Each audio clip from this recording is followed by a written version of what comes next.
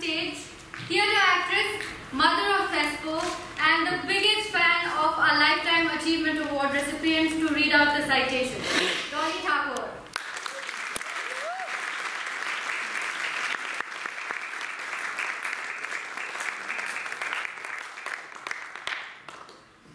Um, I'm not 25 years old, but I uh, started on my carpet, and uh,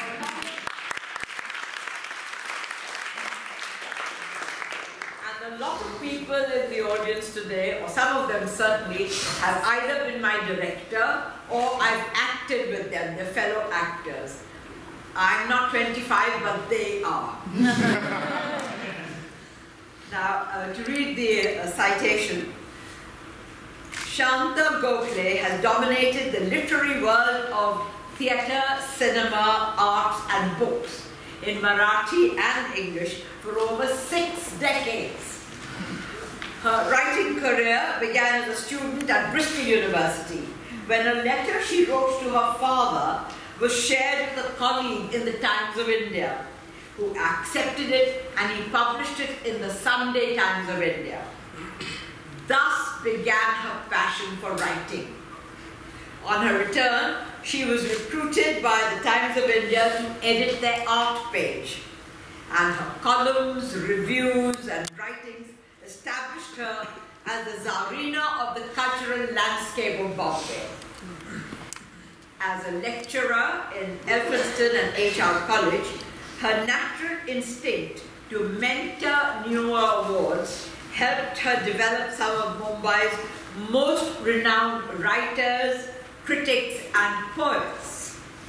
Today, she may be best known for her Thursday column in the Mumbai Mirror, where she separated the best from the banal for almost a decade.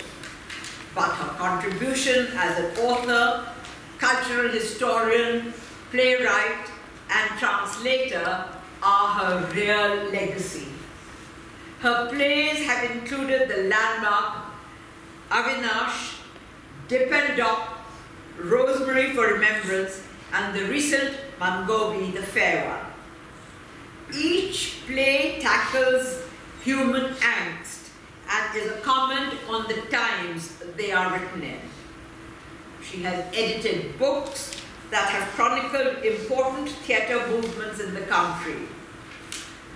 From the work of directors like Satyadev Dubey and Veena Pani Chawla to capturing the history of Marathi theatre or Bombay's experimental theatre, she has ensured that these landmark movements are preserved for posterity for new generations to come. Her translations of seminal Marathi plays have contributed hugely to their demand beyond the borders of Maharashtra. Vijay Tendulkar Shantata Court Chalu Ahe, Mahesh Elkunchwar's Wada Chirebandi, Satish Alekar's Begum Barbe, and G.P. Deshpande's Uddhwasta Dharmashala are all access accessible to a wider audience thanks to her efforts. As culture columnist for the Independent, the Sunday Times, Midday, and the Mumbai Mirror, she has been the yardstick by which all Mumbai art practitioners have measured themselves for the last six decades. In the year 2016, she received the Sangeet Natak Akademi Award for contribution to performing arts. But in her proverbial modesty, refuses to be acknowledged as a figure of prominence. She is symbol of everything that the art world should aspire to. Generous, approachable, nurturing, accessible, and most importantly, steadfastly liberal. Her integrity is dauntingly unshakable. For all this, THESPO is pleased to present the Lifetime Achievement Award for 2018 to Shanta Gokhale.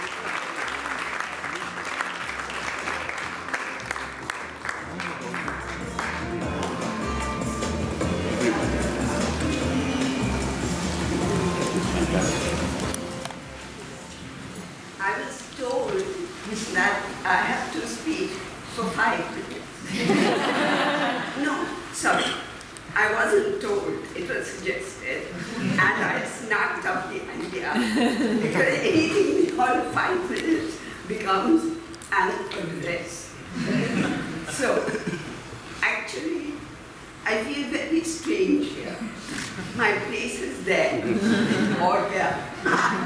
And uh, I'm saying to myself, oh, just because he is in a realistic plane doesn't mean that he should walk as he does in his drawing room. but I have also had things to say about people's voices, and I've often wondered why actors don't work on their voices.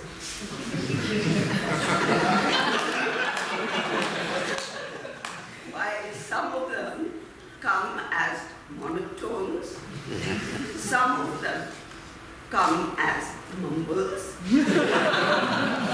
and some of them come like the players in Hamlet.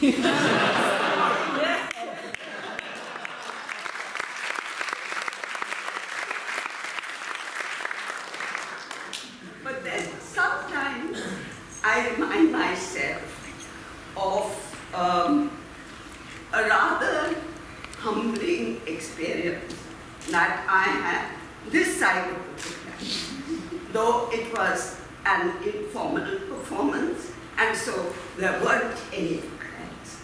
and this was way back when most of you people weren't even a gleam in your parents' eyes.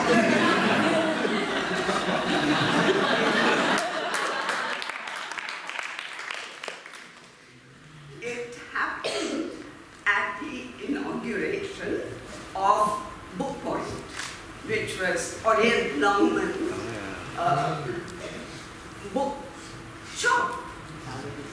And it was decided that uh, we should inaugurate with a play. The play chosen was uh, Snehalata Reddy's Sita, an extremely powerful play uh, where the entire episode of the fire ordeal was seen from Sita's viewpoint. Snehalata Reddy had been imprisoned during the emergency and she died soon after. So, um, my friend Satyadeva, uh, he always comes in when I'm talking anywhere. so, he suggested Pearl Padamsee was directing this play. And he suggested that I would make a Sita. so there I was. I used to work with Femina. And I would rush from there to rehearse. And Pearl would say to me very patiently, Shanta, dear, voice has come from the stomach.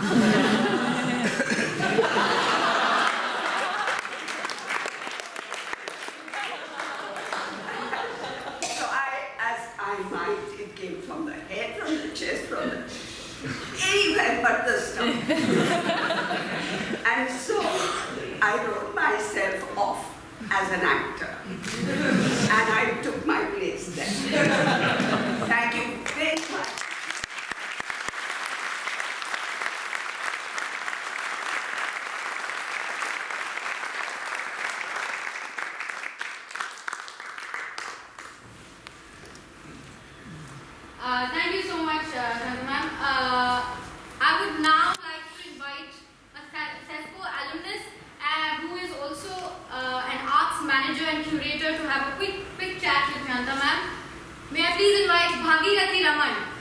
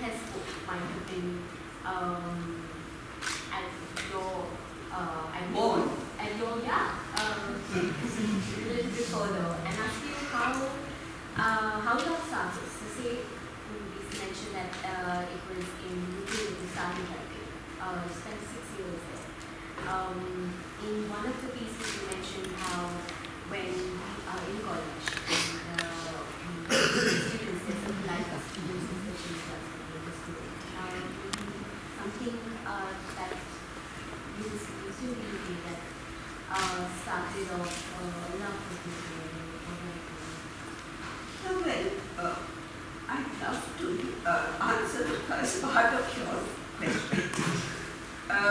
You said, or I said, and therefore on. Um, I was present at the birth because I saw the first play that this group of young people who had just come out of college performed at the Experimental Theatre. And it was the night Thoreau spent in jail. And I was absolutely blown by the fact that this group of young people had chosen this play to do, which has so much philosophical content, so much political content. Uh, young people would normally have thought choose to do a lightweight comedy. But this was the way that they first did. And I'm not sure, but I think I wrote it. So there it was. I was there 20 years ago. That was Decker. Me as a writer, I was always a writer from and uh, as auditor said, this just happened to start me off on publishing. Uh, as a writer, I have often wanted to write because it's such a pleasure, but not necessarily publish. I have a lot of stuff that I've written, and it's never gone beyond my desk. This time, as she said, it was a letter home, and my father showed it to M.V. Matthew, who was then looking after the Sunday edition. And he said, lovely letter, I'm going to publish it. so that came as a bit of a surprise. And uh, I must say, a good friend of mine at college, at Bristol, said, how can that be? And you write a letter home and it gets published. and here we are struggling. some have luck, some. That's I.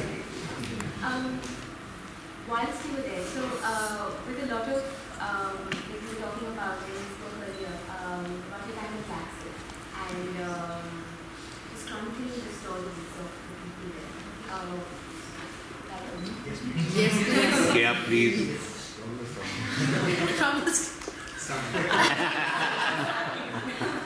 Uh, you were chronicling the, the stories of the workers at Glaxo to make it a little more interesting. You were, uh, can you tell us a little bit about that? When you got in what made you say, hey, let's shake this up a little bit and, and make it a little more interesting? Yeah, well, uh, Glaxo to outsiders was this big British company and people thought they were good paymasters, which they were. but it was such a stodgy atmosphere, you know, managers going around the file looking extremely important and the poor workers taking their tablets and their ointments and uh, dying to get home. And uh, I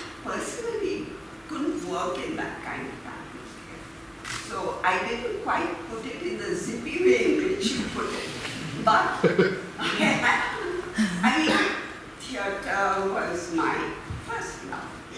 So I thought, here's a whole factory full of Marathi people. and take two Marathis, put them together, they make a play. So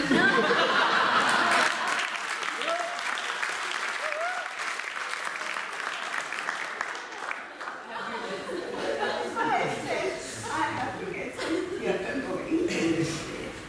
So manager said, oh, there is no art in Blackstone.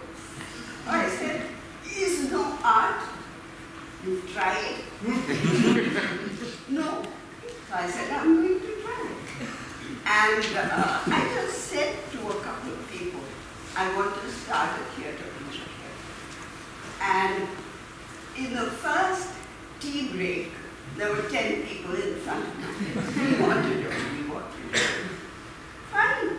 So we had a theatre group going, and we used to perform. I would choose uh, one act play, which could be cut down to 30 minutes. We used to have a 40 minute lunch, 10 minutes to eat, 30 minutes to come and watch. So um, scripts also had to be exactly selected. And most of the props came from my house. Absolutely. So we had this going, and the managers were all watching, of course, thinking, "Mm-mm, not going to happen. It happened. And at the end of every show, the workers who used to rush in and crowd the auditorium would say, when is the next show? so for nine years, I had my lunchtime theatre happening.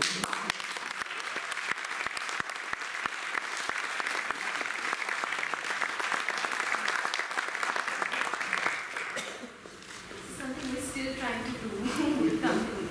Um, with this, uh, you mentioned how uh, uh, you were chronicling the, the workers' lives as well. Uh, you were interviewing them, trying to find out more about their stories. I'm going to take this and put it along with the letters to the editor that you really wanted to do uh, when, when the art stage uh, shut down. Just giving you a drive to find the human and find the stories and uh, and put them together. What about this excites you so much? What about this who once you pick up that you wanted to tell?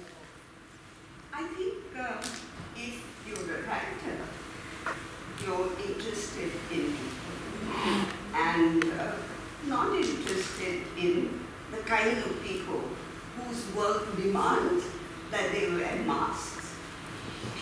Our management people were all like that. They were all masked and uh, always spoke in certain terms. You couldn't knock the mask off at all.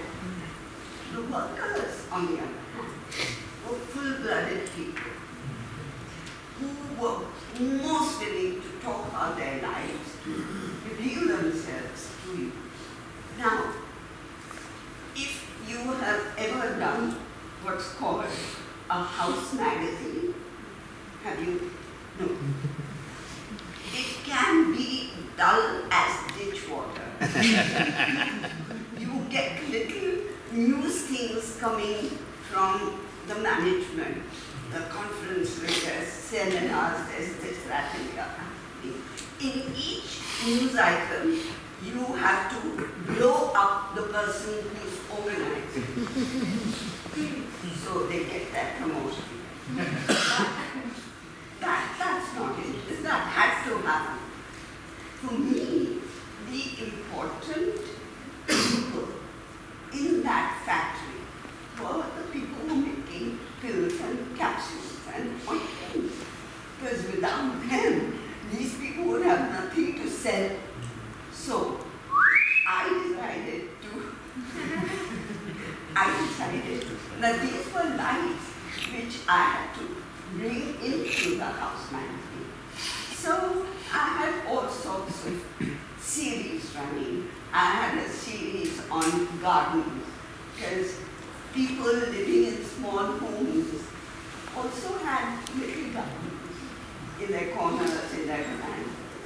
And when you got them talking about them, they were totally altered. Their faces were glowing. They were suddenly not automated, but human beings. So then I had this series on gardens.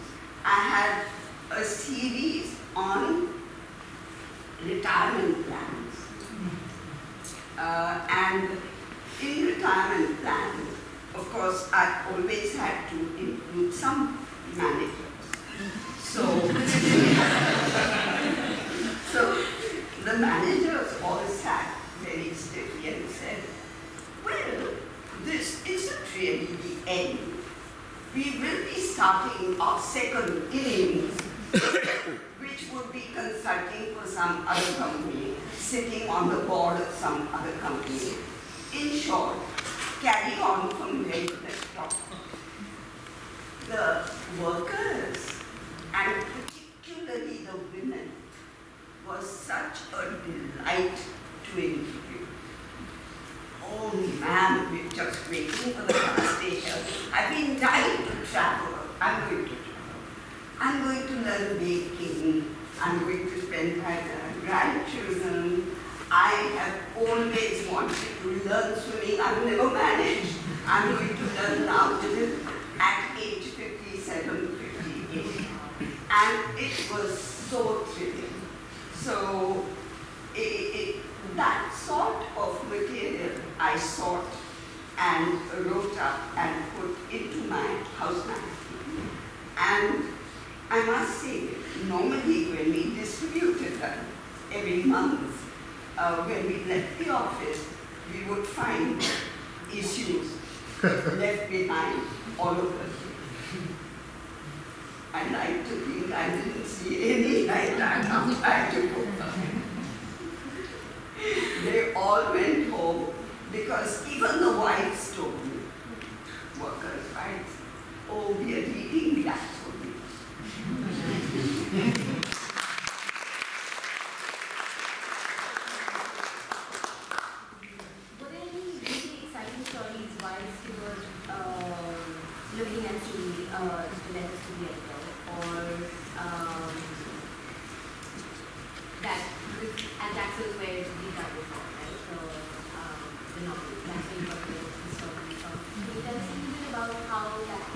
Rita. uh, Then,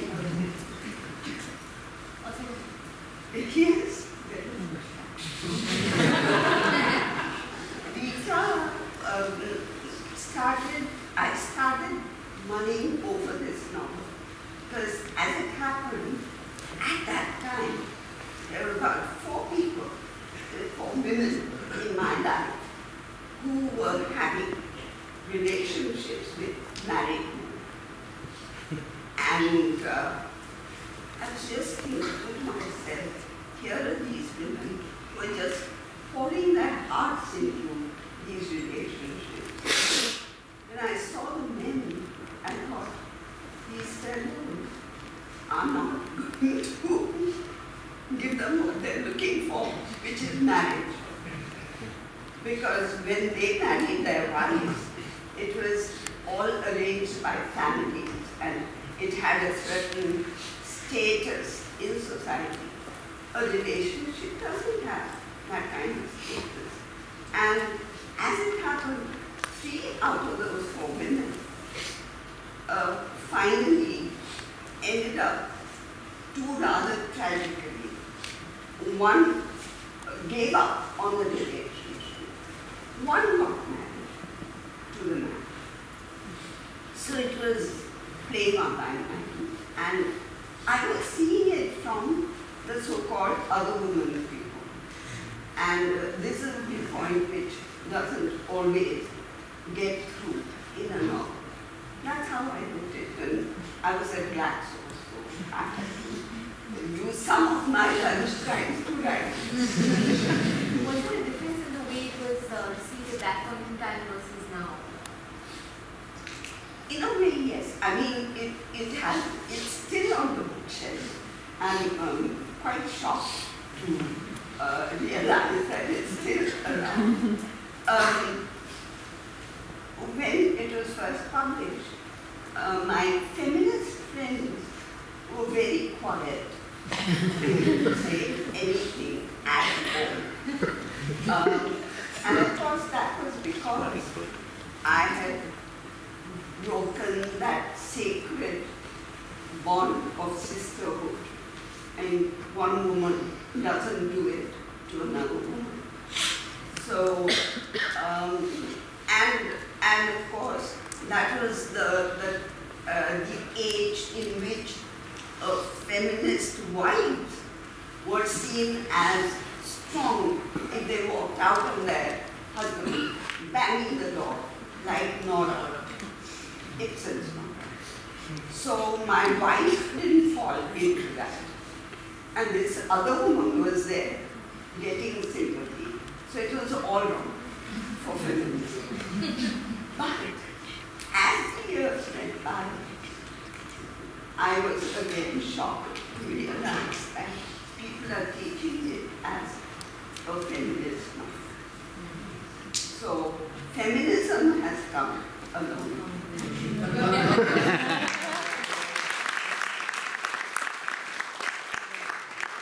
How have you seen that progress in feminism through, uh, through your experience, through your writing, uh, through people you've encountered?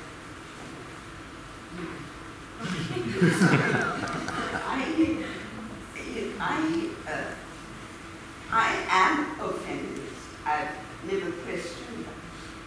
But uh, apart from that time in the late 70s, early 80s, when I was very much part of various groups and um, we got together and thrashed this issue. Um, after that, I kind of withdrew because uh, I don't like programs. Um, I'm too individualistic. So I retain my kind of feminism and uh, kind of shut myself away from the theorized feminism.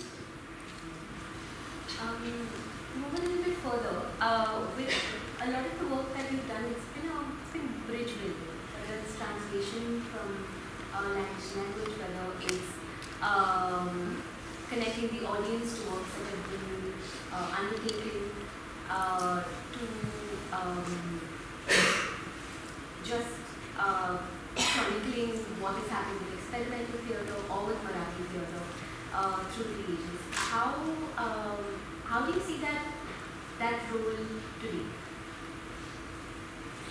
tell me how you it. I, am the bridge never talks.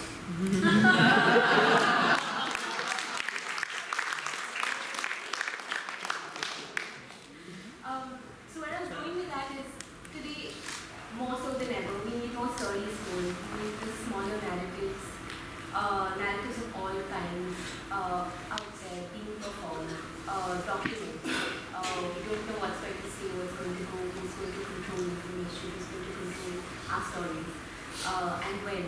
So the, the reason I was asking that is at Thespo, 20 years down, we're looking at uh, maybe 21, 23 year olds who uh, either performing or writing uh, or looking for ways by which these stories can be told. What would you have to say to them?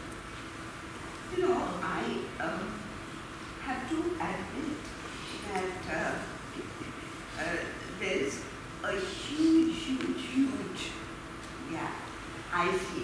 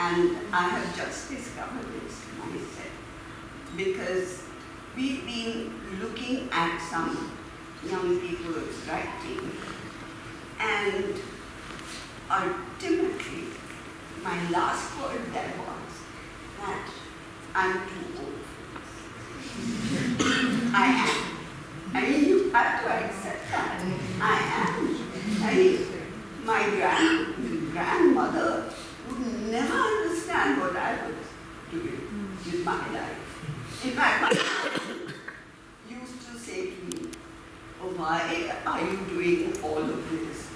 For, for, for whom are you doing? And if I said, I'm doing it myself, it wasn't a concept she, understood. Yeah. To do something for yourself. So, uh, there was that gap.